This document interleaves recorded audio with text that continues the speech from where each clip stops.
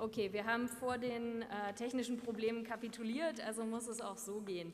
Ähm, ja, herzlich willkommen. Ich bin Julia Reda, ich bin Europaabgeordnete der Piratenpartei und habe mich in den letzten vier Jahren damit beschäftigt, mir den Mund fusselig zu reden über das Urheberrecht. Und ähm, das lief zunächst auch relativ äh, erfreulich. Wir haben im Juli eine Abstimmung gehabt, wo die Pläne für Uploadfilter und Leistungsschutzrecht erst einmal auf Eis gelegt wurden.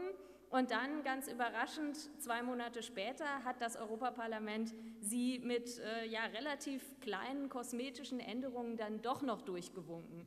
Und das ist jetzt eine Woche her und ich möchte euch ein bisschen erklären, also wie es dazu gekommen ist, dass das Europaparlament jetzt doch sich für Uploadfilter und Leistungsschutzrecht ausgesprochen hat, was in diesem Text genau drinsteht und was wir doch auch noch tun können, um die Verabschiedung von diesen Plänen letzten Endes äh, zu verhindern. Denn das ist auch wichtig, das äh, Prozedere ist noch nicht komplett vorbei.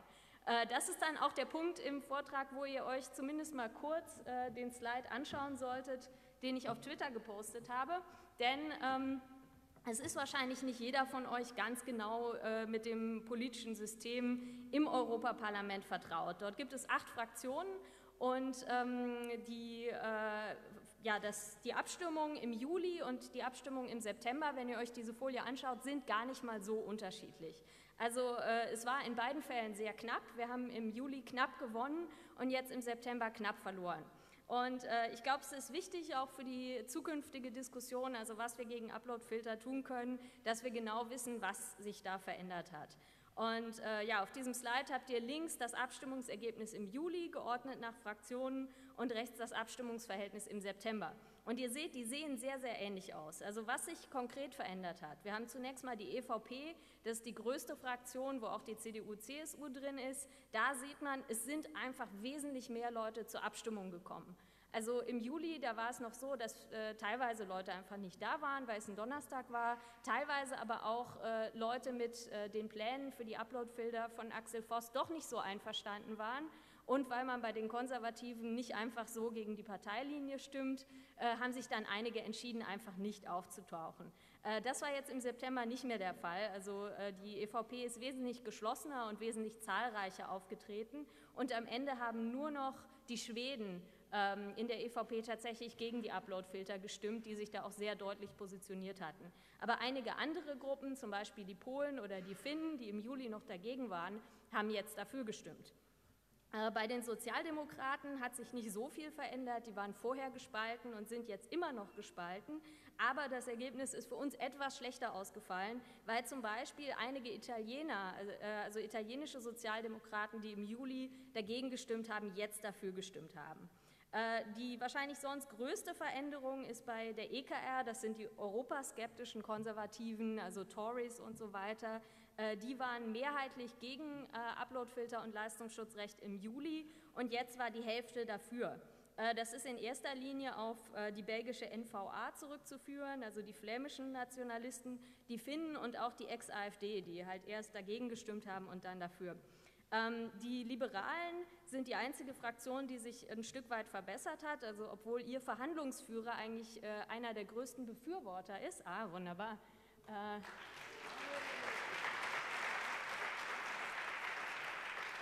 Ich weiß jetzt allerdings nicht, wo die Folie herkommt. Das heißt, äh, ich hoffe, dass sie dann einfach magisch wieder verschwindet. Äh, okay, aber das war, was ich euch zeigen wollte. Ähm, auch bei, also bei den kleinen Fraktionen, Grüne, Linke und die äh, sogenannte EFDD, die waren eigentlich immer dagegen. Und da hat sich auch nicht viel verändert, bloß dass halt alle drei dieser Fraktionen einzelne Leute dann doch ähm, äh, an die Gegenseite verloren haben. Ähm, ja, wie kann man das erklären? Also ich glaube, was man daraus lernen kann, ist zunächst einmal, dass Aktivismus aus der Zivilgesellschaft durchaus funktioniert, aber er hat nur eine sehr, einen sehr kurzen Wirkungsgrad. Also im Juli hatten wir zum Beispiel einen Blackout der Wikipedia in Italien, der dazu geführt hat, dass viele italienische Sozialdemokraten, die sonst eigentlich als ähm, äh, mehr oder weniger urheberrechtsextrem gelten, ähm, sich doch Gedanken gemacht haben und letzten Endes dagegen gestimmt haben. Und manche von denen haben diese Position beibehalten, andere sind aber auch wieder umgefallen. Also das zeigt solche Dinge wie Wikipedia-Blackouts oder äh, große Proteste, die wirken, aber die wirken für eine sehr kurze Zeit. Genauso hatten wir ähm, in Deutschland oder äh, mehr oder weniger europaweit eine sehr große Petition auf change.org.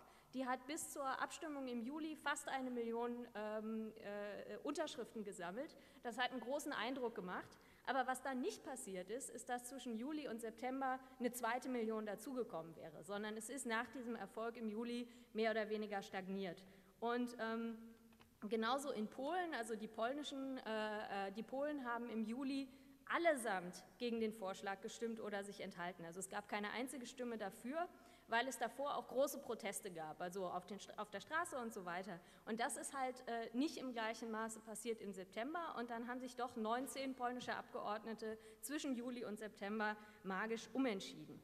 Ähm, also was man daraus lernen kann, denke ich, also Aktivismus ist super wichtig, aber er muss kontinuierlich sein und das ist natürlich unglaublich viel verlangt, weil alle äh, äh, sich mit zehn verschiedenen wichtigen, brennenden Themen beschäftigen und äh, zwischendurch auch noch Broterwerb und solche Dinge machen müssen. Und das ist natürlich für, für äh, die Zivilgesellschaft eine unglaublich schwierige Aufgabe, an so einem Thema dran zu bleiben über viele Jahre. Aber äh, es ist offensichtlich notwendig. Also ähm, äh, es gab vor der Abstimmung im September weniger äh, vergleichbare Aktivitäten von uns und die hatten auch weniger Reichweite. Teilweise muss man sich auch fragen, ob da nicht irgendwie uns äh, böse mitgespielt wurde. Also ich zumindest habe die Erfahrung gemacht, dass mehrere meiner Webseiten und, äh, und so weiter auf irgendwelchen Blacklists gelandet sind wegen angeblicher Urheberrechtsverletzung und einfach nicht mehr verteilt werden könnten, was ein bisschen merkwürdig ist. Ähm, gleichzeitig ist die Gegenseite äh, natürlich nicht äh, still. Also es gab vor allen Dingen äh, in der Presse eine sehr massive Kampagne für das Leistungsschutzrecht. Ähm, Frankreich hat zum Beispiel die Kulturministerinnen der verschiedenen Länder aktiviert, äh, um eben gezielt auch mit ihren Abgeordneten zu reden. Und ein Narrativ, das bei meinen Kolleginnen und Kollegen in Brüssel ganz massiv verfangen hat, war äh, das Gerücht, dass die Kampagne gegen Uploadfilter und Leistungsschutzrechten vollständig von Google bezahlt und organisiert wurde.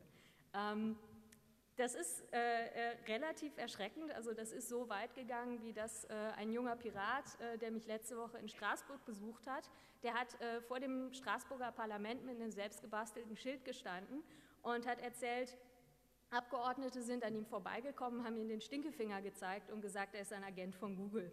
Also äh, relativ äh, äh, drastisch und ich glaube auch äh, ja eigentlich erschreckend, weil wir sollten uns ja wünschen, dass sich irgendwie junge Leute für die Europapolitik äh, interessieren. Aber das Fazit daraus ist halt, also wir müssen kreativer werden, wir müssen Abgeordnete äh, direkt ansprechen und die müssen das Gefühl haben, also das ist ein Thema, das in ihrem Wahlkreis und auch im Wahlkampf äh, wirklich relevant ist und dass das Leute sind, die sie kennen, weil wenn sie das von ihrem Neffen oder ihrer Nichte hören, dann werden sie wahrscheinlich nicht denken, dass die von Google bezahlt sind. Also, ähm, das ist wahrscheinlich, wie, wie es zu diesem Ergebnis bekommen, gekommen ist. Äh, ich will euch jetzt kurz erklären, also was da genau eigentlich beschlossen wurde. Denn es gab ein paar Veränderungen, allerdings leider äh, sind die zum größten Teil kosmetischer Natur. Also da haben wir zuerst mal das Leistungsschutzrecht. Und was sich nicht verändert hat, äh, im Gegensatz zu dem, was oft behauptet wird, ist, dieses Leistungsschutzrecht ist deutlich weitgehender als das, was wir in Deutschland haben. Das bedeutet, also in Deutschland ist es so, Suchmaschinen und Nachrichtenaggregatoren dürfen keine Teile aus Presseartikeln verwenden. Bei diesem europäischen Vorschlag ist es so, dass kein Online-Dienst äh, diese Ausschnitte verwenden darf. Das heißt, das gilt auch für euer Blog, das gilt auch für die Wikipedia und alle, die behaupten, irgendwie die Wikipedia wäre von diesem Vorschlag ausgenommen, beim Leistungsschutzrecht erzählen die schlicht und ergreifend Unsinn. Ähm, ich hätte euch äh, im Zweifelsfall auch den entsprechenden äh, Textausschnitt dazu eingeblendet, aber ansonsten äh, könnt ihr es auch später nochmal nachlesen. Also was hat sich geändert bei diesem Leistungsschutzrechtsvorschlag? Im Juli stand da, also das Leistungsschutzrecht, äh, es gibt eine Ausnahme für reine Hyperlinks. Da haben wir gesagt, naja, das ist ja schön und gut, aber was ist denn ein Hyperlink? Heißt das, ich darf die URL posten oder heißt das, ich darf auch die Überschrift zum Beispiel von einem Presseartikel posten? Es war völlig unklar, manchmal ist die Überschrift ja auch Teil der, des Hyperlinks. Also äh, hat jetzt äh, das Parlament den folgenden tollen Kompromiss geschlossen. Sie haben geschrieben, das gilt nicht für Hyperlinks, die von einzelnen Wörtern begleitet werden. Ich glaube, der juristische Fachausdruck dafür ist Verschlimmbesserung. Also jetzt ist völlig klar, dass man die Überschrift nicht verwenden darf, weil das nicht einzelne Wörter sind. Also äh, völlig weltfremd. Also das heißt, ähm, ein Link mit einer vollständigen Überschrift in Zukunft wäre also ein Verstoß gegen dieses Leistungsschutzrecht. Nicht nur, wenn es auf Google passiert, sondern auch, wenn es auf der Wikipedia oder eurer persönlichen Webseite passiert. Das heißt, irgendwie Zusammenfassungen zum Beispiel über die Berichterstattung über mich auf meiner eigenen Webseite wäre dann wahrscheinlich irgendwie erlaubnispflichtig. Ja, jetzt wird äh, das Parlament diskutieren müssen, gemeinsam mit dem Rat, äh, wie denn der Kompromiss zwischen den beiden äh, Kammern aussehen soll für das Leistungsschutzrecht. Und ähm, der, der Rat äh, hat zumindest noch ein kleines bisschen mehr Flexibilität da drin, indem er sagt, naja, okay, also einzelne Wörter zu schützen geht ja vielleicht ein bisschen zu weit, deshalb sollen nicht substanzielle Teile eines äh, Presseartikels weiterhin äh, verwendet werden dürfen äh, versäumt aber zu definieren, was nicht substanziell ist und sagt, das soll jeder Mitgliedstaat für sich selbst entscheiden. Äh, diese Richtlinie hatte mal den Sinn, das europäische Urheberrecht zu vereinheitlichen. Äh, das ist damit, glaube ich, auf ganzer Linie gescheitert. Und ähm, natürlich ist es klar, also wenn irgendeine Webseite europaweit verfügbar sein will, dann wird sie sich wahrscheinlich nach dem strengsten Leistungsschutzrecht in ganz Europa richten müssen. Das heißt, wenn irgendwie Frankreich entscheidet, drei Wörter sind eine Verletzung, ja, dann ist das der Standard, nach dem man sich zu richten hat. Also nicht besonders ähm, äh, befriedigend das Ganze. Ähm, was auch noch ähm, häufiger gesagt wird, also der, dass angeblich der Text des Parlaments äh, zum Leistungsschutzrecht entschärft werden würde, denn legitime, private, nicht kommerzielle Nutzung durch Individuen sei gestattet. Äh, dazu muss man sagen, also privat ist etwas anderes als Privatperson. Also es muss beides zutreffen. Es handelt sich um eine Privatperson, die etwas privat, also nicht öffentlich postet und nicht kommerziell. Also das würde bedeuten, wahrscheinlich dürft ihr nach wie vor Ausschnitte aus Presseartikeln in einer E-Mail versenden. Was es aber nicht bedeutet, ist, dass ihr die auf Facebook äh, oder Twitter teilen dürft oder auf eurer eigenen Webseite. Also insofern ist, glaube ich, diese Ausnahme in der Praxis weitgehend sinnlos. Äh, ja, wie sieht es äh, bei den Upload-Filtern aus? Also die, das Grundproblem äh, bei den Upload-Filtern ist in dem Text, den das Parlament jetzt verabschiedet hat, äh, nach wie vor da. Und zwar, ähm, also äh, Plattformen werden grundsätzlich dazu, äh, oder, äh, dazu verdonnert, dass sie für alle Urheberrechtsverletzungen ihrer Nutzer direkt haftbar sind. Also als hätte die Plattform die Urheberrechtsverletzung selbst begangen. Das äh, ja, stellt sie vor einige Herausforderungen, denn das Problem ist, dass auf der anderen Seite, also die Rechteinhaber, nicht verpflichtet sind, äh, der Plattform in irgendeiner Form ein faires Angebot zu machen. Das heißt also, wenn ein einziger Rechteinhaber sagt, ich möchte dir aber keinen Lizenzvertrag anbieten, ich möchte, dass meine Inhalte einfach nicht auftauchen, dann hat die Plattform keine andere Wahl, als Uploadfilter zu installieren. Also es stimmt, der äh, Paragraph, der äh, explizit Uploadfilter erwähnt hat, wurde gestrichen. Aber das ändert am Grundprinzip überhaupt nichts, denn äh, die Plattform ist haftbar für alle Urheberrechtsverletzungen, völlig egal, ob der Rechteinhaber Ihnen ein Angebot gemacht hat oder nicht. Das heißt also, im Ende läuft es sowieso auf Uploadfilter hinaus. Ähm, die einzige Verbesserung, die es zu verzeichnen gibt zwischen Juli und September, ist, dass wir es geschafft haben, zumindest ein bisschen einzugrenzen, um welche Plattformen es da überhaupt gehen soll. Und zwar wurde hinzugefügt, dass es sich um Plattformen handelt, die die hochgeladenen Inhalte zu Profitzwecken bewerben. Es ist nicht besonders äh, gut definiert. Also man weiß nicht genau, was bewerben bedeutet. Also zum Beispiel auf Reddit, wenn man Sachen hoch und runter voten kann, ist das schon bewerben zu Profitzwecken oder ist nur sowas wie Monetarisierung auf YouTube gemeint? Ist unklar, aber ich glaube, die gute Nachricht ist, dass zum Beispiel die Wikipedia, die einfach nicht profitorientiert ist, damit dann wahrscheinlich relativ sicher raus wäre. Aber das Problem ist halt äh, auch auf kommerziellen Plattformen wie YouTube äh, führen Uploadfilter regelmäßig dazu, dass legale Inhalte gelöscht werden. Insofern also äh, ein, kleiner, äh, ein kleines Trostpflaster sozusagen für äh, die Netzgemeinde, dass die ganz äh, nicht kommerziellen und community-orientierten Projekte jetzt doch ausgenommen werden sollen. Aber viel mehr ähm, Positives gibt es da nicht zu verzeichnen. Äh, daneben wurde dann noch klargestellt, also dass ganz kleine Plattformen, äh, also kleine Unternehmen, die weniger als 50 Angestellte haben und weniger als 10 Millionen Jahresumsatz, auch von dieser äh, Definition ausgenommen sein sollen. Alle anderen müssen aber nach wie vor äh, filtern oder Lizenzen von allen urheberrechtlich geschützten Werken auf der Welt einholen, weil sie ja jemand hochladen könnte, was natürlich äh, in der Praxis nicht besonders realistisch ist. Ähm, ja, das ist der Text, äh, mit dem das Parlament in die Verhandlungen startet. Also danach könnte man im Grunde genommen eigentlich äh, überhaupt keine kommerzielle Plattform mehr in Europa betreiben, weil selbst die besten Filter werden es nicht schaffen, 100 Prozent aller Urheberrechtsverletzungen aufzuspüren. Und in dem Moment wäre dann der Plattformbetreiber direkt in der Haftung. Äh, der Rat, naja, der hat es vielleicht etwas, äh, einen etwas realistischeren Vorschlag gemacht, äh, der für die Plattformen etwas bequemer ist. Dort wird nämlich gesagt, ja, ihr seid haftbar, aber wenn ihr nach dem besten Stand der Technik filtert, dann seid ihr nicht haftbar. Das ist für die Plattformen relativ bequem, weil das würde bedeuten für YouTube, naja, sie, sie filtern Musik auf dem Stand der Technik, das heißt, sie müssen eben genau nichts bezahlen und können genauso weitermachen, wie sie wollen. Äh, aber ähm, äh, für User und auch für Urheber ist das überhaupt nicht befriedigend. Denn also zunächst aus der Sicht der Urheber, Ziel dieses Artikels sollte ja eigentlich sein, dass die ganz großen Plattformen, die Inhalte monetarisieren, irgendwie mehr bezahlen. Das wird aber genau nicht passieren, denn ihnen wird ja die Wahl gegeben zu filtern und damit auf das Bezahlen zu verzichten. Ähm, genauso aus Sicht der User ist es unbefriedigend, weil dadurch eben ein stärkerer Anreiz geschaffen wird, eben nicht zu bezahlen, sondern zu filtern und äh, wir damit eben noch, noch mehr damit konfrontiert werden, dass ähm, äh, Inhalte gelöscht werden, die legal sind, also zum Beispiel Parodien oder Zitate. Denn äh, solange diese Filter keinen äh, äh, Sinn für Humor entwickeln, werden sie auch nicht in der Lage sein, eine Parodie von einer Urheberrechtsverletzung zu unterscheiden. Ähm, das heißt also, der, der, Ratstext zu den Upload-Filtern ist aus äh, grundrechtlicher Sicht und aus Urhebersicht äh, genauso schlimm, wenn nicht schlimmer als der Parlamentstext, bloß er ist etwas unternehmensfreundlicher, also wahrscheinlich auch nicht so äh, ganz das Gelbe vom Ei. Ähm, jetzt könnte man sagen, naja, dann können wir ja eigentlich gleich aufgeben. Also das Parlament hat das beschlossen, der Rat hat das beschlossen und Sie müssen sich jetzt nur noch darauf einigen, welchen Ihrer äh, beiden äh, unsinnigen Vorschläge es denn jetzt sein soll. Aber äh, ganz so schlimm ist es nicht. Also ich habe schon gezeigt, wie knapp die Abstimmung im Parlament war. Um 60 Stimmen haben wir äh, bei den Upload-Filtern verloren. Ähm, ähnlich knapp ist es auch im Rat.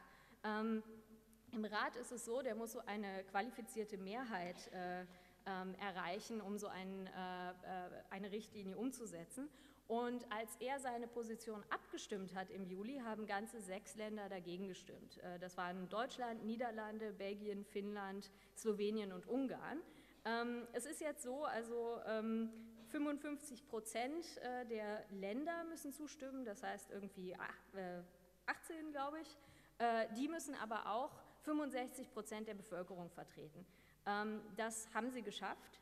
Allerdings haben seit dieser Abstimmung äh, im Mai zwei weitere ziemlich große Länder gesagt, sie sind mit äh, dem Ergebnis nicht einverstanden, und zwar Italien und Polen. Bei Italien einfach, weil sich die Regierung geändert hat und äh, Movimento Cinque Stelle eigentlich schon immer gegen diese Reform war. In Polen wahrscheinlich vor allen Dingen wegen der öffentlichen Proteste. Äh, wenn diese beiden Länder tatsächlich dabei bleiben, dass sie die Richtlinie ablehnen, dann hätten wir plötzlich eine Sperrminorität, weil nämlich 44 Prozent der Bevölkerung ähm, jetzt auf der Gegenseite wären. Das Problem ist, ähm, es ist nicht besonders wahrscheinlich, dass Deutschland bei seiner Ablehnung dieses Plans bleiben wird. Und zwar, das hat zwei Gründe. Also als Sie äh, dagegen gestimmt haben im Mai, hatten Sie zwei Kritikpunkte. Der eine Kritikpunkt war, dass das Ganze für Kleinunternehmen äh, mit den Upload-Filtern zu weit geht. Aber jetzt hat das Parlament ja genau diese Ausnahme für Kleinunternehmen eingeführt, zufällig durch einen äh, CDU-Abgeordneten, der das Ganze äh, fürs Parlament verhandelt hat. Und es könnte sein, dass Sie sagen, okay, jetzt können wir den Upload-Filtern zustimmen. Äh, der zweite Kritikpunkt von Deutschland war, dass ihnen das Leistungsschutzrecht nicht weit genug ging. Und auch da kann man wahrscheinlich sagen, dass sie wahrscheinlich mit dem Parlamentstext dann doch äh, zufrieden wären. Aber die Quintessenz des Ganzen ist, dass wahrscheinlich die Frage, ob es eine Mehrheit für diese Reform im Rat geben wird oder nicht, von der deutschen Bundesregierung abhängen wird. Und die deutsche Bundesregierung hat in ihrem äh, Koalitionsvertrag stehen, ich zitiere, eine Verpflichtung von Plattformen zum Einsatz von Upload-Filtern lehnen wir als unverhältnismäßig ab. Das hat sie bisher nicht besonders interessiert, bis auf einige Mitglieder der SPD, die sich äh, doch ähm, relativ äh, stark dagegen eingesetzt haben und auch äh, die Digitalministerin Dorothee Bär, die aber leider anscheinend auch in der Regierung nicht so viel zu sagen hat bisher. Aber das heißt also, auf Deutschland wird es wirklich ankommen. Äh, auf das andere Land, auf das es ankommen wird, ist äh, Österreich. Denn Österreich ähm, leitet im Moment die Verhandlungen im Rat. Also die haben die Ratspräsidentschaft inne bis Ende dieses Jahres. Und ähm, das heißt, sie werden die Verhandlungen zwischen Parlament und Rat leiten. Äh, leider sind sie als ziemliche Hardliner bekannt bei dem Thema. Also auch die möchten sich mit ihrer Boulevardpresse nicht unbedingt anlegen über das Leistungsschutzrecht. Ähm, allerdings war es schon so, dass vor der Abstimmung im Juli einige äh, Abgeordnete der ÖVP gesagt haben, sie werden dagegen stimmen. Danach kam dann der österreichische Minister zu ihnen, hat gesagt, das geht gar nicht. Und dann haben sie gesagt, ja, uns wurde versprochen, dass der Text im Trilog noch verbessert wird und deshalb sind wir jetzt eh dafür. Ähm, daran kann man sie dann vielleicht bei Zeiten erinnern. Äh, der Koalitionspartner, die FPÖ, hat sich übrigens enthalten, auch in der Abstimmung jetzt im September. Also äh, es wird wichtig sein, auf Deutschland und auch auf Österreich während dieser Trilogverhandlungen öffentlichen Druck auszuüben. Das Problem dabei ist, dass diese Triloge immer vollständig intransparent sind. Also man bekommt von, als äh, äh, interessierte Bürgerin von dem Ganzen extrem wenig mit. Und das ist natürlich ein Riesenproblem, weil es da einen Informationsvorsprung seitens der äh, äh, Medienunternehmen gibt, die natürlich diese Dokumente alle naselang ähm, von irgendwelchen Consultancies äh, weitergeleitet bekommen. Äh, da kommt uns glücklicherweise der Europäische Gerichtshof zu, äh, äh, zu Hilfe. Die haben nämlich vor kurzem entschieden, dass diese Trilogdokumente durch Informationsfreiheitsanfragen hint, hint zugänglich gemacht werden können. Äh, das Problem ist, äh, Informationsanfragen dauern immer ein bisschen, vor allen Dingen bei europäischen Institutionen, aber ich habe Zugang zu den Trilogdokumenten. Ihr habt ein Recht, sie zu bekommen. Ich werde sie also einfach veröffentlichen und äh, mal gucken, was passiert.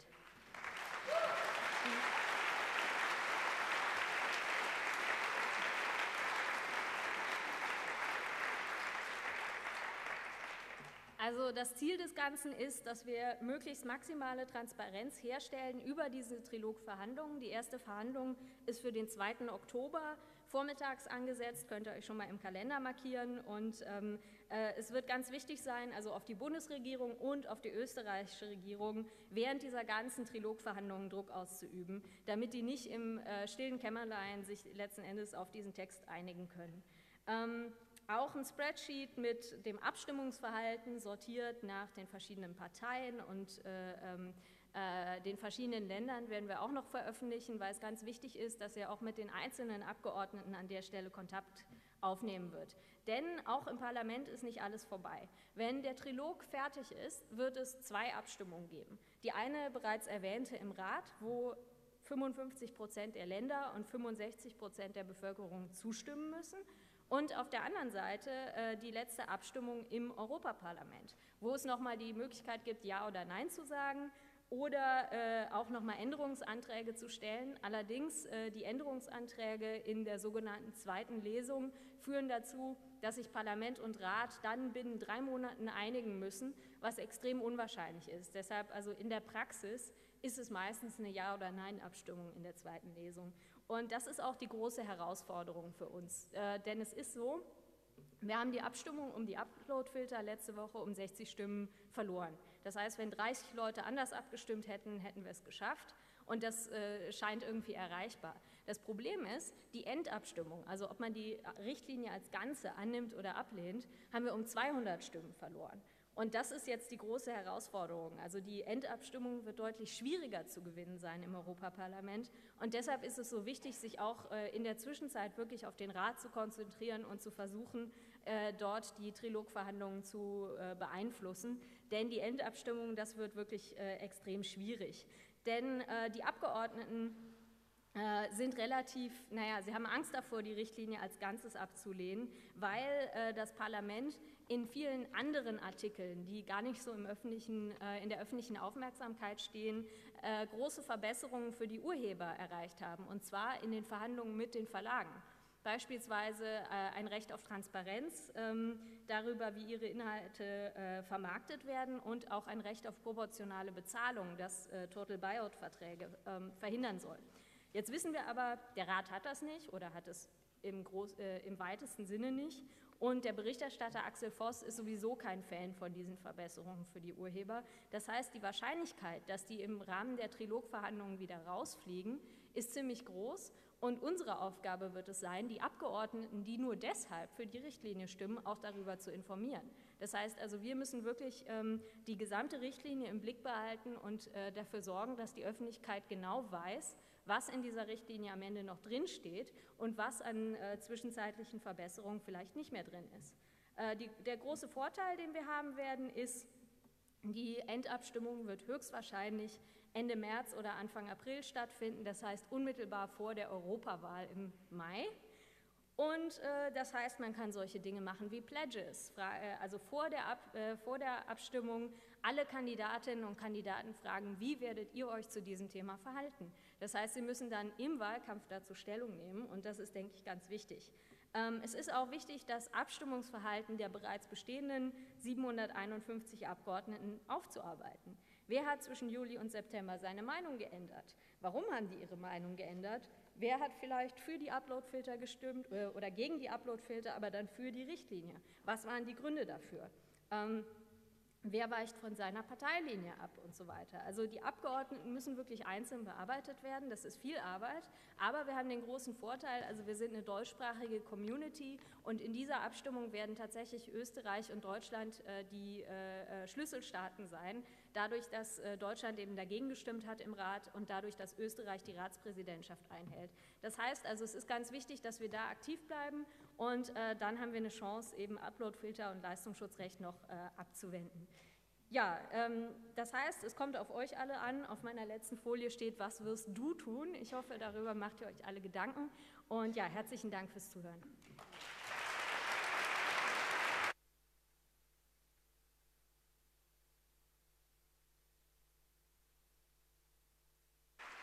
Dankeschön fürs Dasein, Julia. Du hast am Anfang gesagt, die wichtigsten Folien hast du schon getwittert. Da findet man. Äh, ja, dann werde ich den Rest auch noch twittern. Dann habt ihr einen Gesamtüberblick und seht auch noch mal ein schönes Foto von Axel Voss beim Jubeln. Das klingt toll. Schon mal im Voraus vielen Dank dafür. Ähm, ich habe viel gelernt bei deinem Vortrag und auch durch deinen kurzen Beitrag, als die Slides noch, als wir noch Hoffnung hatten, dass deine Slides kommen, habe ich auch zum ersten Mal gelernt, wie man dein Twitter-Handle richtig ausspricht. Also vielen Dank auch dafür. Ich hoffe, ähm, ja, du bleibst noch bei uns und wenn ihr Fragen habt, dann könnt ihr gerne äh, in der Mittagspause auf Julia zukommen.